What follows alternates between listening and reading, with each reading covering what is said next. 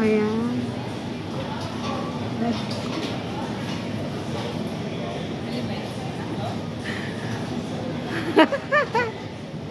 Ayan, dito ako sa food court.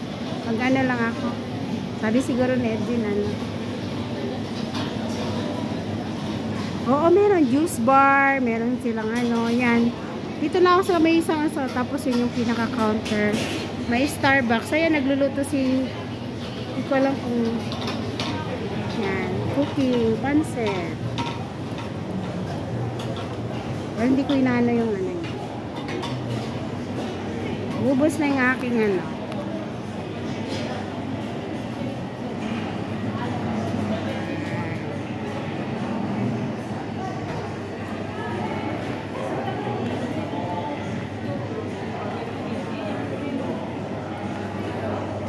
Dito kain.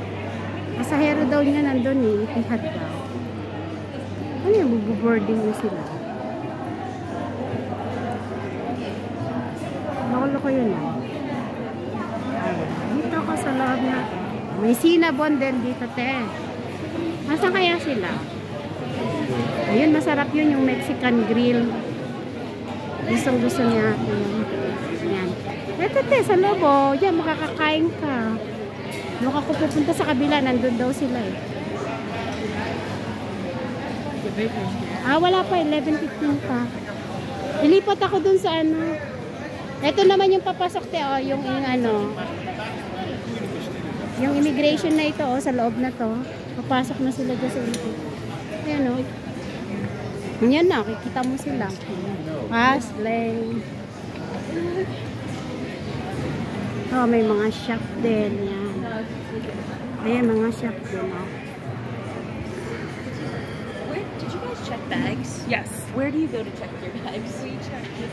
Ayan, dito sa loob. Yung may coffee berry. Masarap ang tinapay din nila dyan. Doon sila, doon sa dulo ang Etihad. Ayan, dito ka sa loob, te. Ayan, o. I just saw it. Oo, ganito dito. Ah. Ayan, ayan, ayan.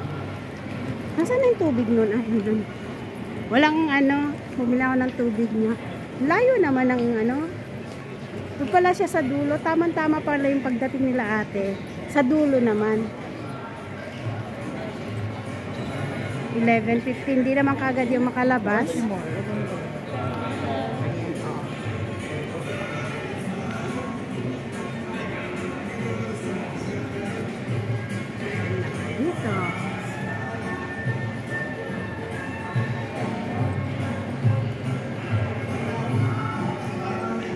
Nasaan na yun? Ah, nandyan na yung mga may hahatid.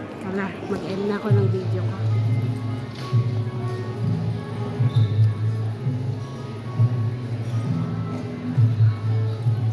Welcome to our home.